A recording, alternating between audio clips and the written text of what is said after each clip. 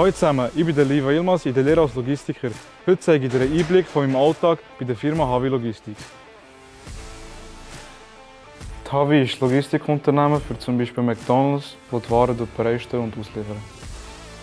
Die Tätigkeiten, die ich hier bei der Havi mache, sind zum Beispiel Kommissionieren, Stapler fahren und Wareneingang.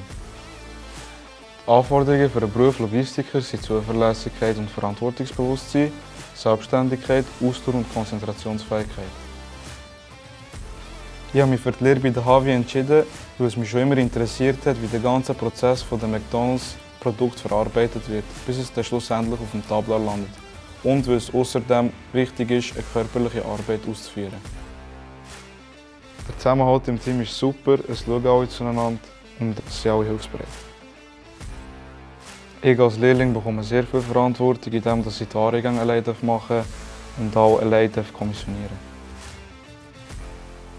Das persönliche Highlight, das ich in meiner Lehre erlebe, ist, dass ich bei minus 20 Grad im Tiefkühllager arbeiten darf. Jetzt hast du meinen Alltag als Logistiker.